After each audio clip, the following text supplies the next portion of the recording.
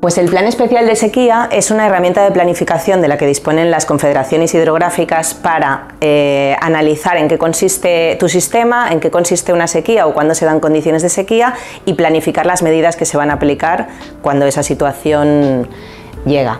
Entonces, para ello necesitas tener un buen conocimiento del sistema, analizar los recursos de los que dispones, las demandas que vas a tener que atender, tus zonas más vulnerables y eh, establecer un sistema de indicadores. Este sistema de indicadores, por un lado, mide la sequía en base a pluviómetros y por otro lado, mide la escasez, que son indicadores relacionados con la atención de demandas. Entonces, son distintos indicadores parciales de embalse, de piezometría, de aforos, que tienen distinto peso en función de las demandas a las que atienden.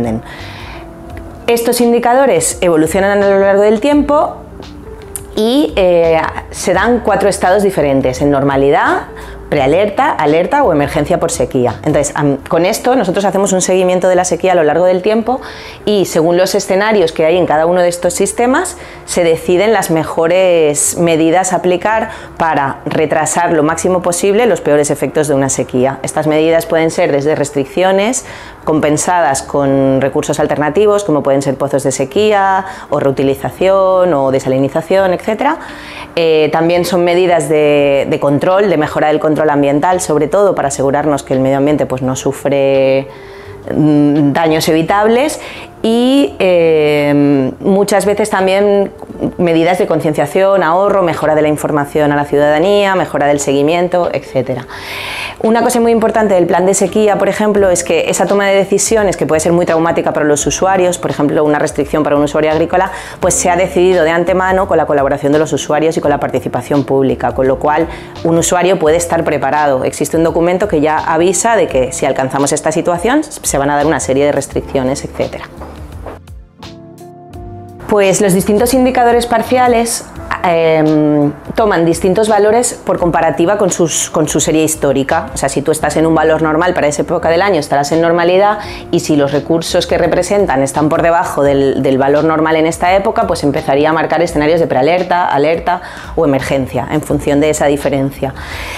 Y estos distintos escenarios marcan distintas, distintas medidas a aplicar. Generalmente en un escenario de normalidad no se aplican medidas, las medidas son de preparación. O sea, tú tienes que conocer el sistema, si vas a necesitar recursos alternativos, pues tener una red de pozos adecuada, etcétera, infraestructuras, pero eso forma parte de la planificación ordinaria. En prealerta, tus medidas a aplicar son de preparación, medidas de analizar eh, si todo está en orden para activar medidas posteriores, medidas de sensibilización y concienciación a la ciudadanía y mejora del seguimiento, intensificación de seguimientos.